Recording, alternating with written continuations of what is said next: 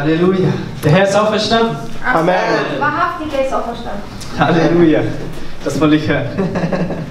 Der Herr ist auferstanden. Ja, es ist ein wunderbarer Tag.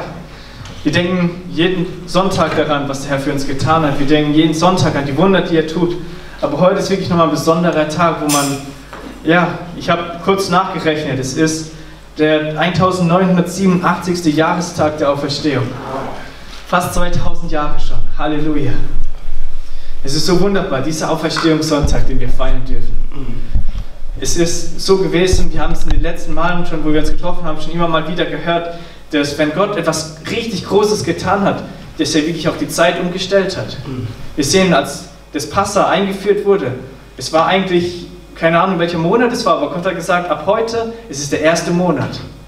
Gott hat die, die Monate, hat einfach neu, ge, neu geordnet und das ganze Volk musste sich praktisch einen neuen Kalender kaufen.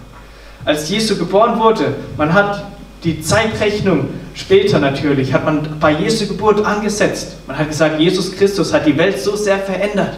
Es hat eine neue Zeitrechnung begonnen, eine neue Ära. Jesus Christus ist gekommen, eine neue Zeit hat angefangen.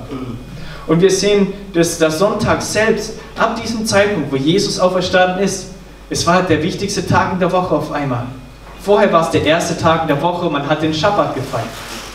Aber seit dem Zeitpunkt, wo Jesus aufgestanden ist, die Jünger haben sich nicht mehr an einem Samstag getroffen, an einem Schabbat, sondern sie haben den Sonntag, den ersten Tag der Woche, zu ihrem Tag auserkoren. Es war der Tag, an dem Jesus Christus das Leben bereitet hat. Halleluja. Und das Interessante ist, was hat Gott am ersten Tag der Woche gemacht? Was ist das Erste, das jemals am ersten Tag der Woche passiert ist? Gott hat das Licht geschaffen. Gott hat das Licht geschaffen. Und an diesem Tag, als Gott das Licht geschaffen hat, vorher gab es nur Finsternis.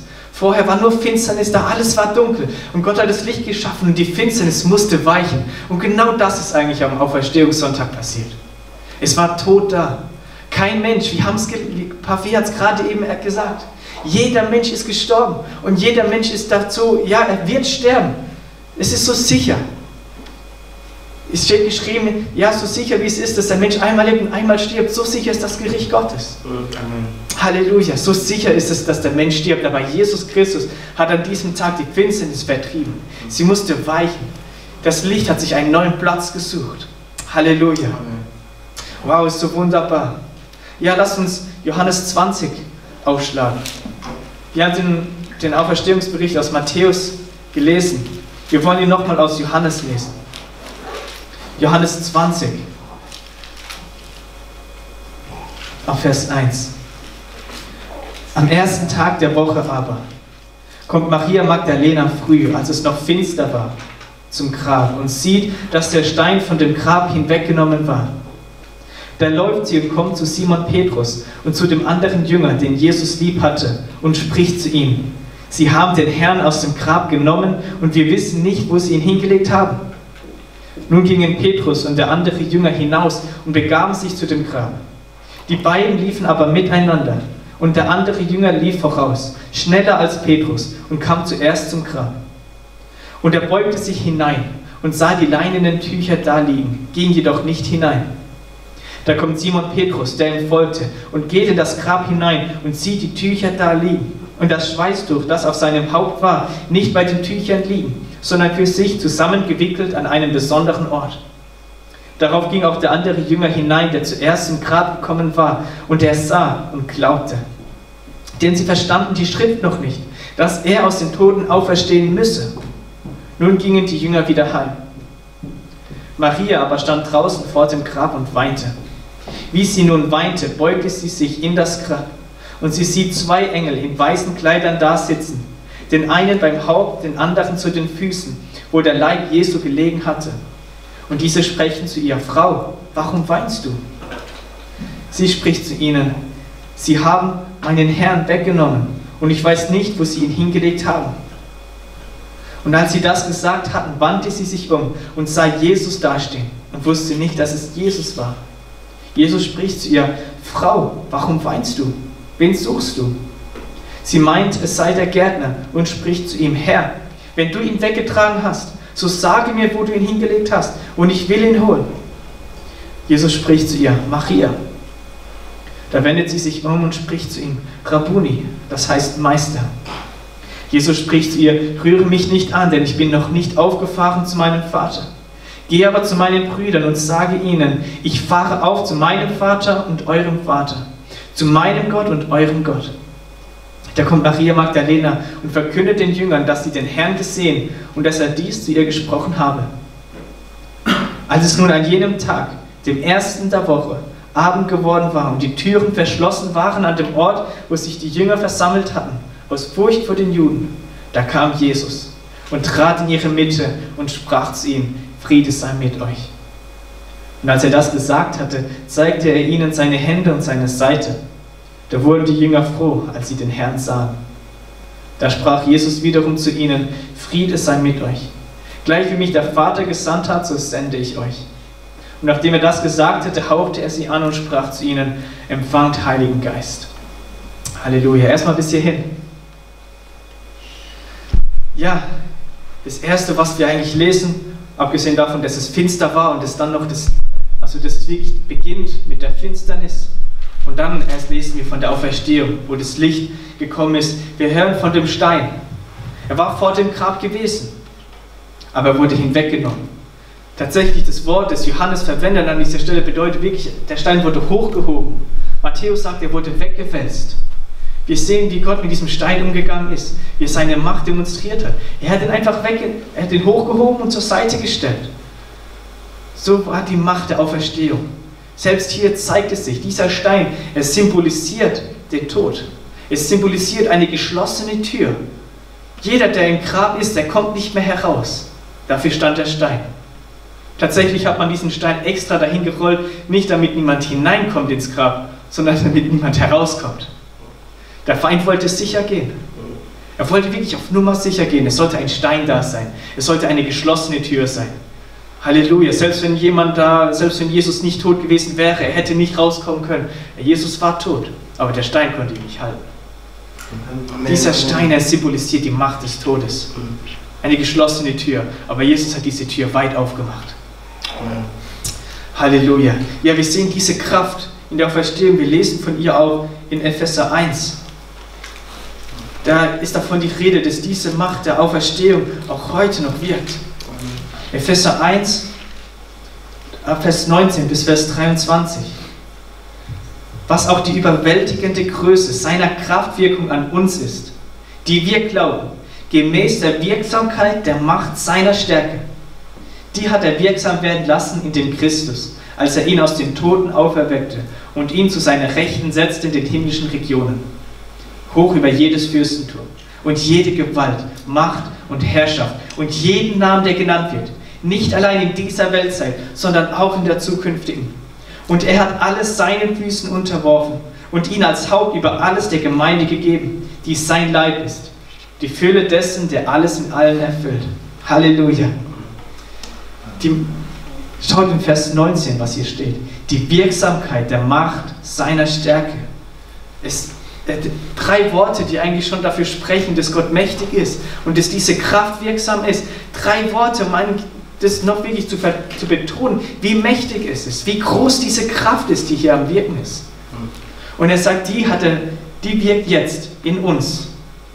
Es heißt, Vers 19, was auch die überwältigende Größe seiner Kraftwirkung an uns ist. Diese Kraft wirkt an uns. Sie ist hier in unserer Mitte. Sie ist heute Morgen da. Halleluja. Halleluja. Und es ist dieselbe Kraft, sagt, sagt hier Paulus in Epheser. Aber wir sehen, wenn wir in Johannes 20 gehen, ja, Jesus ist auferstanden. Aber man hat es noch nicht gesehen. Diese Auferstehung hat bereits stattgefunden. Das Licht war bereits da. Das Leben war bereits greifbar. Es war bereits da. Man hat es schon annehmen können. Aber wir sehen, wie Maria Magdalena vorm Grab steht und sie weint. Sie versteht es nicht. Die ganzen Jünger, sie haben es auch nicht verstanden. Petrus war beim Grab gewesen, Johannes war beim Grab. Sie haben nur geglaubt, dass Jesus nicht da ist, aber dass er auferstanden aber sie haben es noch nicht verstanden. Sie kannten die Schrift noch nicht. Und Jesus sagt zu Maria Magdalena, warum weinst du? Wen suchst du denn? Jesus wusste, dass sie eine Person sucht. Sie hat nicht geweint, weil irgendwas geschehen ist, sondern sie wollte Jesus sehen. Aber sie dachte, er wäre tot. Und in, in Matthäus, da lesen wir davon, ähm, beziehungsweise wir lesen es in Lukas, in Lukas 24, da ist auch, das sind auch Leute auf der Suche nach Jesus. Und das sind dann die Engel und sie sprechen, ja, ihr sucht den Lebenden bei den Toten. Warum sucht ihr den Lebenden bei den Toten? Jesus ist auferstanden, aber die Menschen sind noch auf der Suche. Maria Magdalena ist auf der Suche gewesen. Aber die Frage ist, wo suchen wir Jesus? Wo suchst du Jesus? Suchst du ihn bei den Toten oder bei den Lebenden? Was bedeutet es, Jesus bei den Toten zu suchen? Es bedeutet, dass ich, ja, dass ich ihn da suche, wo er wirklich nicht ist. Ich versuche ihn überall zu sehen. Ich versuche ihn in, in, ja, viele gehen so weit und suchen ihn in der Natur, bei Steinen und so weiter, bei Sachen, die kein Leben geben können. Sie suchen Jesus bei den Toten. Sie suchen Jesus in der Philosophie. Sie suchen Jesus bei dem, was Eltern, Freunde oder wer auch immer ihnen sagt. Sie suchen Jesus nicht bei den Lebenden, sondern bei den Toten. Aber wir wollen Jesus Christus nicht bei den Toten suchen. Amen. Er ist auferstanden. Halleluja. Wir suchen ihn bei den Lebenden. Yes. Halleluja. Amen. Aber ich habe mir eine Frage gestellt in den letzten Tagen. Weil wir denken, viele sagen, okay, das Kreuz. Und sie machen hier einen Stopp. Aber das Kreuz ist nur wirksam, wenn Jesus auch aufersteht. Ja. Das Kreuz ist nur wirksam mit der Auferstehung. Aber warum ist Jesus, als er auferstanden ist, nicht direkt in den Himmel aufgefahren? Er hatte drei Jahre ja Zeit mit den Jüngern gehabt. Drei Jahre hat er schon mit ihnen, ja, war er unterwegs gewesen und hat sie belehrt. Wenn wir in Apostelgeschichte gehen, ganz am Anfang, Lukas hat ja das Lukas-Evangelium geschrieben und direkt im Anschluss die Apostelgeschichte. Und es heißt in Apostelgeschichte 1, ich lese die ersten drei Verse, den ersten Bericht habe ich, also Lukas, verfasst, und Theophilus, über alles, was Jesus anfing zu tun und zu lehren. Das sind diese drei Jahre, in denen Jesus gewirkt hat mit den Jüngern. Bis zu dem Tag, der er in den Himmel aufgenommen wurde, nachdem er den Aposteln, die er erwählt hatte, durch den Heiligen Geist Befehl gegeben hatte. Ihnen erwies er sich auch nach seinem Leiden als lebendig durch viele sichere Kennzeichen, indem er ihnen während 40 Tagen erschien und über das Reich Gottes redete. Hier steht es, Jesus innerhalb dieser 40 Tage von seiner Auferstehung bis zu seiner Auffahrt in den Himmel. Er hat mit ihnen über das Reich Gottes geredet. Aber was bedeutet es? Hat er nicht vorher auch drei Jahre lang über das Reich Gottes geredet? Er hat so viele Gleichnisse über das Reich Gottes erzählt. Warum nimmt Jesus hier sich nochmal 40 Tage Zeit? 40 Tage, warum? Hat er ihnen etwas erzählt, das er ihnen vorher nicht erzählt hat? Ich glaube, dass es so ist, Jesus hat vorher von dem Reich Gottes geredet und er hat viel in Gleichnissen geredet und man konnte es nicht wirklich verstehen, weil es, es, war, noch, es war für sie nicht greifbar. Sie waren alle noch im Fleisch gewesen, aber das Reich Gottes ist im Geist. Und als Jesus Christus auferstanden ist, als dieses Reich Gottes tatsächlich Wirklichkeit geworden ist, als die Jünger diese, die auch die Bekehrung erleben durften, haben, hat Jesus ihnen erzählen können von dieser Kraft, die dieses Reich Gottes hat, von der Vollmacht, die er ihnen geben wird. Und er hat gesagt, bleibt in Jerusalem. Wir sehen es in Abvers 4. Als er mit ihnen zusammen war, gebot er ihnen nicht von Jerusalem zu weichen, sondern die Verheißung des Vaters abzuwarten, die er, so sprach er, von mir vernommen habt. Denn, Je, denn Johannes hat mit Wasser getauft, ihr aber sollt mit Heiligem Geist getauft werden, nicht lange nach diesen Tagen. Da fragten ihn die, welche zusammengekommen waren und sprachen, Herr, stellst du in dieser Zeit für Israel die Königsherrschaft wieder her? Er aber sprach zu ihnen, es ist nicht eure Sache, die Zeiten oder Zeitpunkte zu kennen, die der Vater in seiner eigenen Vollmacht festgesetzt hat, sondern ihr werdet Kraft empfangen, wenn der Heilige Geist auf euch gekommen ist. Und ihr werdet meine Zeugen sein in Jerusalem und in ganz Judäa und Samaria und bis an das Ende der Erde. Wir sehen, Jesus hat diese Tage genutzt, um ihnen von dieser Kraft zu erzählen, von der Vollmacht, die sie als Jünger haben werden. Sie werden nicht wie vorher ja einfach nur Worte haben, sondern sie werden durch Zeichen und Wunder bestätigt werden. Jesus hat ihnen diese Vollmacht erklärt. Und dann, hat, dann ist mir die zweite Frage gekommen. Ja, Jesus hat sich dafür 40 Tage Zeit gelassen. Was? Und dann sagt er, wartet auf den Heiligen Geist. Und zehn Tage später, am Pfingstfest, 50 Tage nach der Auferstehung. Dann erst ist der Heilige Geist gekommen. Warum zehn Tage warten? Gott hat gerade eben dafür gesorgt, dass die Menschen einen freien Zugang haben, dass der Weg zum Vaterhaus frei ist. Er ist offen. Jeder kann auf diesem Weg gehen. Jeder kann gerettet werden. Das Heil ist da für jeden Menschen, der glaubt. Warum wartet Gott noch mal zehn Tage? Warum? Warum sind die Jünger nicht direkt mit Heiligem Geist ausgestattet worden, rausgegangen auf die Straße, direkt Erweckung, direkt 3000 Menschen kommen zum Glauben, am nächsten Tag 5000? Warum wartet Gott zehn Tage? Halleluja. Warum hat Gott andere Zeiten wie wir? Wenn wir den Plan aufgestellt hätten, wenn wir das Programm nach der Auferstehung festgelegt hätten, wir wären direkt am ersten Tag auf die Straße gegangen. Wir hätten direkt mit der Auferstehung, das, der Stein rollt weg vom Kreuz, Jesus steht auf, kommt direkt zu seinen Jüngern, er redet ihnen ganz kurz von der, er liest ihnen ganz kurz die ähm, Johannes 20 und 21 vor, gibt ihnen den Heiligen Geist und die gehen sofort raus. Das wäre unser Plan gewesen. Das wäre unser Programm. Warum wartet Gott? Halleluja. Wir sehen, dass es auch eine Einheit darstellt. Die Jünger sind noch nicht rausgegangen auf die Straße. Das Erste, was wir erkennen müssen, ist, dass es nicht nur die Einheit zwischen Kreuz und Auferstehung ist, sondern es ist eine Einheit zwischen Kreuz, Auferstehung und Pfingsten. Die Jünger sind erst dann rausgegangen und haben vom Evangelium erzählt, als sie Pfingsten erlebt haben. Viele leben heute nur mit dem Kreuz. Es sind viele Kirchen und so weiter. Wir sehen Jesus noch immer am Kreuz. Jesus ist gestorben, das war's. Wie hoffnungslos ist diese Botschaft. Aber viele gehen einen Schritt weiter und sie haben diese Einheit zwischen Kreuz und Auferstehung. Jesus ist gestorben und er ist aufgestanden, er lebt. Und weil er lebt, leben auch wir. Aber viele vergessen diese Kraft von Pfingsten. Sie leben ohne diese Vollmacht. Jesus ist extra auf der Erde geblieben. Wir sehen, wie er diese Sehnsucht hatte nach dem Vaterhaus.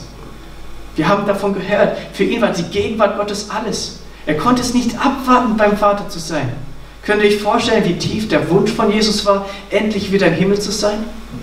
Wie er sich darauf gefreut hat, wie groß seine Vorfreude war, wieder bei seinem Vater zu sein. Aber er ist hier geblieben. Das bedeutet, dass es wirklich wichtig gewesen war, dass es eine Einheit darstellt und wir dürfen die nicht außer Acht lassen. Wir dürfen Pfingsten nicht vergessen. Als Jesus gekommen ist, was war seine Predigt am, am Auferstehungssonntag? Worüber hat er geredet? Hat er davon geredet, ja, ich bin gestorben auferstanden, Halleluja, Jesus lebt und das war's? Nein, er hat weiter geredet, er hat gesagt, okay, jetzt geht's erst los. Wartet auf den Heiligen Geist. Ich werde, euch, ich werde euch den Beistand schicken. Ihr werdet Kraft empfangen. Jesus hat am Auferstehungssonntag über Pfingsten geredet. Halleluja. Weil er wusste, es war noch nicht vollbracht. Es, das Heil war vollbracht. Aber die Jünger waren noch nicht zugerüstet. Sie waren noch nicht bereit. Es hat noch was gefehlt. Diese Einheit, dieses komplette Ganze, es war noch nicht ganz. Halleluja. Wir sehen in Johannes 20, Jesus hat sie angehaucht und hat gesagt, empfangt Heiligen Geist. So wie als Gott den Menschen geschaffen hat, auch da hat er gehaucht. Dieser Atem des Lebens, er ist in den Menschen gekommen. Der Mensch hat diesen Geist von Gott empfangen als, als Adam und Eva gesündigt haben, ist dieser Geist gestorben. Der Mensch war geistlich tot. Und hier, Jesus kommt und er bringt es wieder in Ordnung. Er haucht sie an, empfangt Heiligen Geist. So wie Gott bei der Schöpfung Adam diesen Geist gegeben hat. So hat Jesus hier den Jüngern, den, den Gläubigen, den Geist gegeben. Der Heilige Geist war schon da am Auferstehungssonntag. Nicht erst am Pfingsten. Da war der Heilige Geist schon da aber es war noch nicht die Taufe im Heiligen Geist. Mhm. Aber wir sehen, wie das nicht voneinander zu trennen ist. Am Auferstehungssonntag sagt Jesus, empfangt den Heiligen Geist. Am Pfingsten ist die Taufe im Heiligen Geist. Am Auferstehungssonntag haben wir das Leben und am Pfingsten haben wir die Kraft. Ein Leben ohne Kraft ist, Schwach, ist Schwachheit. Aber Gott wirkt nicht durch, durch ein schwaches Leben. Gott will Leben und Kraft geben. Halleluja. Und wir sehen, dass ja, wie, wie groß diese Einheit ist und wie wichtig es ist, sie zu erkennen. Aber ich will auf die Frage zurückkommen. Warum nochmal zehn Tage warten? Wisst ihr, als 50 Tage nach der Auferstehung vergangen waren, genau da war das Pfingstfest.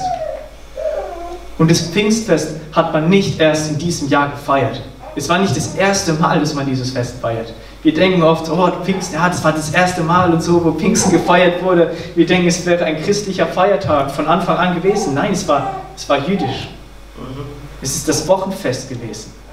Gott hat explizit gewartet, dass der Heilige Geist am, ja, an diesem Pfingstfest ausgegossen wird. Es sollte an diesem Tag sein. Nicht früher, nicht später. Warum? Kennt ihr das Pfingstfest?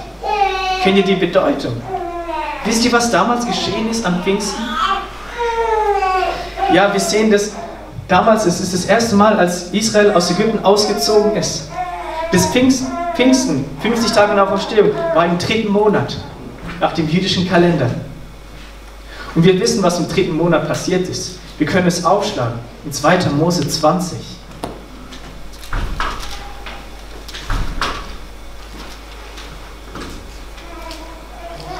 Wir sehen das Datum in 2. Mose 19, da heißt es im dritten Monat nach dem Auszug.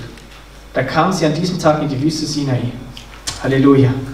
Und in 2. Mose 19, 16, und es geschah, als der dritte Tag kam, als es noch früh am Morgen war. Das ist genau diese Zeit vom Pfingsten. Und was passiert damals an diesem Tag? Wir sehen es in 2. Mose 20, Vers 18. Ich könnte jetzt viel reden. Vorher ist, ja, Gott hat das Gesetz gegeben an diesem Tag. Und dann in 2. Mose 20, Vers 18. Und das ganze Volk nahm das Donnern und die Flammen wahr und den Schall der Schoferhörner und den rauchenden Berg. Als nun das Volk dies wahrnahm, zitterte es und stand von ferne. Halleluja. Und es sprach zu Mose, rede du mit uns und wir wollen hören. Aber Gott soll nicht mit uns reden, sonst müssen wir sterben. Mose aber sprach zum Volk, fürchtet euch nicht, denn Gott ist gekommen, um euch zu prüfen und damit die Furcht vor ihm euch vor Augen sei, damit ihr nicht sündigt. Israel ist ausgezogen aus Ägypten. Es war der erste Monat gewesen. Gott hat diesen ersten Monat neu gesetzt. Das Passafest war gewesen. Es bedeutet den Auszug aus Ägypten. Es ist diese Befreiung aus der Welt, diese Befreiung aus der Hand des Feindes. Es ist die Errettung für Israel gewesen. Und dann laufen sie durch die Wüste. Sie laufen und laufen, laufen. Sie gehen durch das Meer hindurch. Sie erleben diese Taufe, von der wir lesen im Neuen Testament. Und dann kommen sie schließlich am Berg an.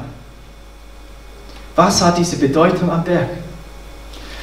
Wir sehen, dass Gott zu ihm gesagt hat, in 2. Mose 19, was der ganze Sinn und Zweck davon ist. Gott sagt in Vers 19, Kapitel 19, Vers 4, ihr habt gesehen, was ich an den Ägyptern getan habe und wie ich euch auf Adlersflügeln getragen und euch zu mir gebracht habe. Ihr habt gesehen, die Errettung, die ich für euch bereitet habe. Wenn ihr nun wirklich meiner Stimme Gehör schenken und gehorchen werdet und meinen Bund bewahrt, so sollt ihr vor allen Völkern mein besonderes Eigentum sein, denn die ganze Erde gehört mir. An diesem Tag hat Gott diesen Bund geschlossen mit dem Volk. An diesem Tag hat er es anerkannt als sein Volk, als sein besonderes Eigentum. Er hat das Gesetz vorgelegt. Diesen, diesen Bund hat er an diesem Tag geschlossen. Der Bund wurde nicht geschlossen, als Israel aus Ägypten ausgezogen ist, sondern erst musste das Gesetz da sein. Und das Volk hat dieses Gesetz akzeptiert und Gott hat diesen Bund geschlossen mit dem Volk. Und wenn wir uns diesen einen Vers, 2. Mose 20, Vers 18, näher anschauen, dann erkennen wir, wie wunderbar Gott wieder diese Zusammenhänge in der Bibel darstellt. Denn genau genommen steht hier eigentlich nicht Donnern. Das kommt in der Übersetzung leider nicht ganz so gut raus. Eigentlich steht da, und das ganze Volk nahm die Stimme und die Flammen wahr und den Schall der Schoferhörner und den rauchenden Berg. Das erste ist, sie haben es wahrgenommen. Das Wort, das hier steht, man kann es eigentlich fast schon mit sehen übersetzen. Ein ganz großer Rabbiner zur Zeit von Jesus, der heißt Johannan ben Zakkai. Er war in der Schule von Gamaliel. Er war einer der gebildetsten Menschen damals gewesen. Er hatte eine große Schule gehabt. Und er hat gesagt, es war so gewesen, dass das Volk die Stimme Gottes tatsächlich gesehen hat. Sie haben es gesehen, was aus dem Mund Gottes herausgekommen ist. Und er sagt, es ist durchs ganze Volk gegangen. Es ist, als, als hätte Gott dieses Gesetz jedem einzelnen Menschen vorgelegt, jedem einzelnen Volk, hat gesagt, das ist mein Gebot. Willst du es halten? Ja, ich will es halten. Du gehörst zu meinem Bund. Du bist dabei. Er sagt, es war so deutlich für jeden Einzelnen Volk, dass das Volk gesagt hat im Anschluss, wie, wie, es hat so gezittert, sie haben es wahrgenommen, sie haben es gehört, sie haben es gesehen, was Gott sagt, sie haben gezittert, haben gesagt, wir können nicht mehr. Diese Kommunikation, wir können es nicht aushalten. Es sind nicht einfach nur Worte gewesen. Wenn ich mit euch rede, es können harte Worte sein, ihr werdet zittern, aber ihr werdet nicht sagen, ich kann es nicht aushalten. Ihr hört die Stimme, ihr könnt euch entscheiden, ob ihr zuhört oder nicht, aber die konnten es nicht mal aussuchen, ob sie zuhören oder nicht. Es war so, so präsent, was Gott damals zum Volk Israel geredet hat. Und es steht hier, die haben mehrere Stimmen wahrgenommen. Es war nicht nur eine Stimme gewesen, sondern es waren viele verschiedene Stimmen gewesen. Und sie waren so, so mächtig, dass dann daraus ein Donner entstanden ist. Es war wie Donner. Wir lesen oft, wenn Gott redet, es ist wie Donnerstimmen. Es ist wie ein Gewitter. Und das Interessante ist, was die Juden selbst lernen und was sie jetzt hören zu dieser Zeit, was dieser Rabbiner gesagt hat. Er hat gesagt, es sind 70 Stimmen, die Gott, die damals geredet haben. Es waren 70 verschiedene Sprachen. Und Gott hat durch diese Sprachen, es sollte jeder verstehen, sogar die ganze Welt sollte es hören, was er bereitet hat an diesem Tag. Deshalb keiner, der Christ war. Sondern diese Auslegung sagt es an diesem Tag, dass Gott auf viele verschiedene Sprachen schon geredet hat. Das ist das, was die Juden damals geglaubt haben. Versteht ihr? Es ist nicht unbedingt direkt, was hier steht, aber die Juden haben das geglaubt. So haben sie das verstanden, wenn Gott zu ihnen geredet hat. Und sie haben diesen, ja, es war ein Gewitter da gewesen, es war Wind da gewesen, es war Feuer da gewesen, Stimmen waren da gewesen, es waren Erdbeben da gewesen. An was erinnert uns das? An was erinnert uns das? Wir haben Stimmen, wir haben Feuer, wir haben Wind, wir haben Erdbeben. An was erinnert uns das? Halleluja. Wir wollen in Apostelgeschichte gehen.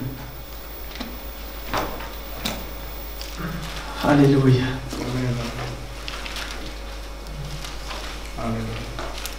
Halleluja. Apostelgeschichte 2. Ab Vers 1. Und als der Tag der Pfingsten sich erfüllte, das heißt nicht, als der Tag von Pfingsten kam, als der Tag von Pfingsten da war oder als das Pfingstfest gefeiert wurde, sondern als der Tag der Pfingsten sich erfüllte. Da waren sie alle einmütig beisammen. Und es entstand plötzlich vom Himmel her ein Brausen, wie von einem daherfahrenden, gewaltigen Wind, und erfüllte das ganze Haus, in dem sie saßen. Und es erschienen ihnen Zungen wie von Feuer, die sich zerteilten und sich auf jeden von ihnen setzten.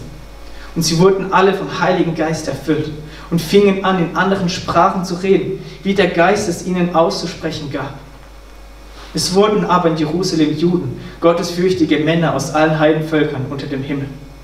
Als nun dieses Getöse entstand, kam die Menge zusammen und wurde bestürzt. Denn jeder hörte sie in seiner eigenen Sprache reden. Sie entsetzten sich aber alle, verwunderten sich und sprachen zueinander, siehe, sind diese, die da reden, nicht alle Galiläer?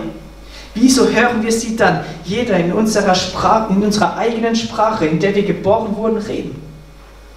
Pater und Merder und Elamiter und wir Bewohner von Mesopotamien, Judäa und Kappadokien, Pontus und Asia, Phrygien und Pamphylien, Ägypten und von den Gegenden Libyens bei Kyrene und die hier weilenden Römer, Juden und Proselyten, Kreter und Araber, wir hören sie in unseren Sprachen die großen Taten Gottes verkünden. Und sie entsetzten sich alle und gerieten in Verlegenheit und sprachen einer zum anderen, was soll das wohl sein? Andere aber spotteten und sprachen, sie sind voll, süßen Weines. Da trat Petrus zusammen mit den Elf auf, erhob seine Stimme und sprach zu ihnen, ihr Männer von Judäa und ihr alle, die ihr in Jerusalem wohnt, das sollt ihr wissen und nun hört auf meine Worte. Denn diese sind nicht berauscht, wie ihr meint. Es ist ja erst die dritte Stunde des Tages. Sondern dies ist es, was durch den Propheten Joel gesagt worden ist.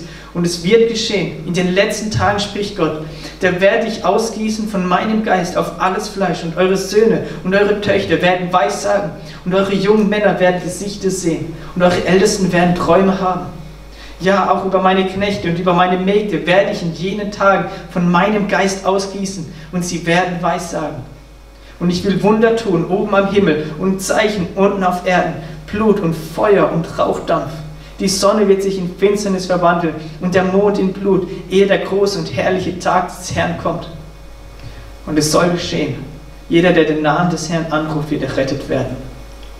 Halleluja. Und Petrus legt ihm Zeugnis ab von dem, was Jesus getan hat, was er bereitet hat, dass man ihn auch gekreuzigt hat, aber dass er wieder auferstanden ist, dass er jetzt erhöht ist, dass er jetzt zu Rechten des Vaters sitzt im Himmel und dass die Jünger eben jetzt diese Verheißung bekommen haben, dass sie jetzt diesen Heiligen Geist bekommen haben.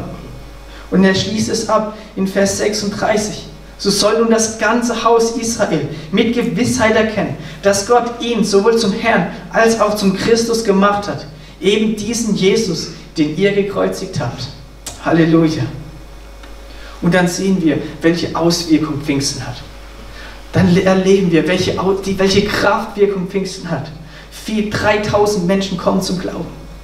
Sie werden errettet. An einem Tag für Gott 3000 Menschen, Menschen hinzu. Und wir haben gesehen, es blieb nicht bei diesem einen Tag, sondern sie bleiben beständig in dem. Es war nicht nur die Kraft an einem Tag, sondern diese Kraft hat an diesem einen Tag angefangen. Und sie geht, sie ging weiter, sie ging die damals hindurch, durch ganz Jerusalem, sie haben sich alle beständig getroffen. Es hat sich ausgebreitet in ganz Samaria, dieses Feuer, es war wie ein Waldfeuer, das niemand auffallen konnte. Es hat das ganze Land erfüllt. Es ist weitergegangen, es hat die ganze Welt ergriffen und das Feuer brennt heute noch. Amen. Halleluja. Amen. Dieses Feuer brennt. Halleluja.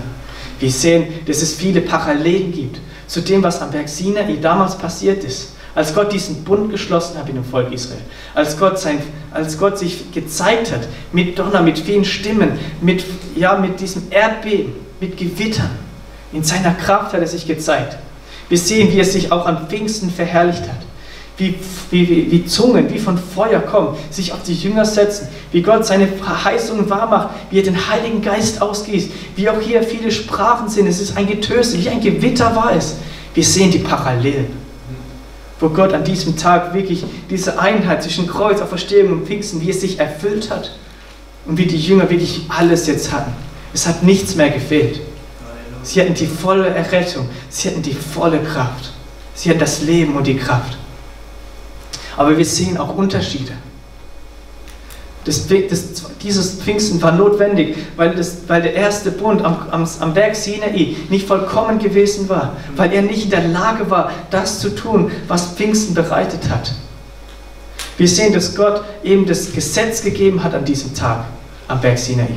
Gott hat dem Volk Israel das Gesetz vorgelegt. Und das, Gesetz hat, und das Volk hat sich unter dieses Gesetz gestellt und hat gesagt, ja, wir wollen dieses Gesetz halten. Von diesem Tag an wurden sie nach dem Gesetz gerichtet. Wir sehen in Römer 7, was es für Auswirkungen hatte. Dieses Gesetz war gut. Es ist ein ewig gültiges Gesetz. Es bedeutet, was Gott vorhat, was der Wille Gottes ist. Es, es zeigt uns die Reinheit, die Gerechtigkeit Gottes. Wir sehen es in Römer 7, ab Vers 8, was ab diesem Tag passiert ist. Dann nahm aber die Sünde einen Anlass durch das Gebot und bewirkte in mir jede Begierde. Denn ohne das Gesetz ist die Sünde tot. Ich aber lebte, als ich noch ohne Gesetz war. Als aber das Gesetz, als aber das Gebot kam, lebte die Sünde auf und ich starb. Und eben dieses Gebot, das zum Leben gegeben war, erwies sich für mich als todbringend. Denn die Sünde nahm einen Anlass durch das Gebot und verführte mich und tötete mich durch dasselbe. Halleluja. So ist nun das Gesetz heilig und das Gebot ist heilig, gerecht und gut. Hat nun das Gute mit dem Tod gebracht, das sei ferne. Sondern die Sünde hat, damit sie als Sünde offenbar werde, durch das Gute meinen Tod bewirkt, damit die Sünde überaus sündig würde durch das Gebot. Halleluja. Das Volk hatte kein Gebot am Anfang gehabt. Und, und Paulus schreibt hier, ohne Gebot, ich habe gelebt. Ich hatte Leben. Ohne Gebot gibt es kein, ohne Gesetz gibt es keinen Richter. Ohne einen Richter gibt es keine Verurteilung. Man wurde auch vor dem, bevor Gott das Gesetz gegeben hatte, konnten die Menschen nicht tun lassen, was sie wollten. Das will ich gar nicht sagen.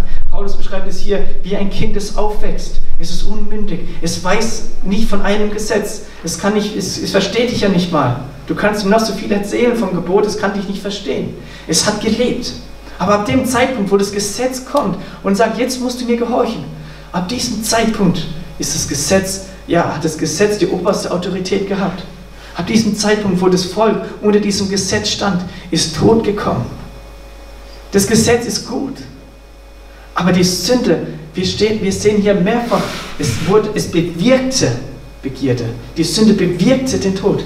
Die Sünde, ähm, Vers, ja, wir sehen es zum einen in Vers 8, die Sünde bewirkte in mir. Halleluja. Die Sünde lebte auf. Vers 9. Halleluja. Vers 11. Die Sünde nahm einen Anlass. Sie tötete mich nur. Halleluja. Vers 13. Die Sünde hat meinen Tod bewirkt. Wir sehen, dass, es, dass die Sünde auf einmal eine Wirkung hatte. Auf einmal hatte die Sünde Kraft. Die Sünde ist aufgelebt. Es heißt dass vor dem Gesetz, dass die Sünde tot war. Die Sünde war tot. Sie kann nichts tun, ohne dass ein Gesetz da ist, durch das es wirken kann. Dieses Gesetz war da und es ist tot gekommen. Denn die Sünde hat es genommen und hat es geschafft, dass es voll gestorben ist. Und wisst ihr, das eines der ersten Dinge, die passiert sind, nachdem, ja, nachdem das Volk das Gesetz bekommen hat, es hat gesündigt, hat sich ein Kalb gemacht. Und wisst ihr, wie viele gestorben sind? 3000. 3000 sind gestorben. Die Sünde, ja, die Sünde hat durch das Gesetz Tod gebracht. Aber wir sehen den Unterschied zu Pfingsten. Denn Gott hat an Pfingsten nicht das Gesetz gegeben. Halleluja. Das Gesetz wurde am ersten Pfingsten gegeben, aber am zweiten Pfingsten, von dem wir lesen, hat Gott den Geist gegeben. Und wir sehen in Johannes 20, was für einen Unterschied es macht. Halleluja. Wir haben es schon gelesen. Johannes 20. Ab Vers 21 will ich diese Verse nochmal lesen. Johannes 20, ab Vers 21. Da sprach Jesus wiederum zu ihnen: Friede sei mit euch. Gleich wie mich der Vater gesandt hat, so sende ich euch. Und nachdem er das gesagt hatte, hauchte er sie an und sprach zu ihnen, empfangt Heiligen Geist. Welchen ihr die, Sünde, welchen ihr die Sünden vergebt, denen sind sie vergeben. Welchen ihr sie behaltet, denen sind sie behalten. Halleluja. Es war erst das, beim ersten Pfingsten haben wir das Gesetz. Und wir sehen, das Gesetz bewirkt Tod. Und es sind direkt 3000 Menschen gestorben. Wir sehen beim zweiten Pfingsten, Gott gibt den Geist. Und was ist das Erste, was wir lesen, nachdem Jesus den Geist gegeben hat?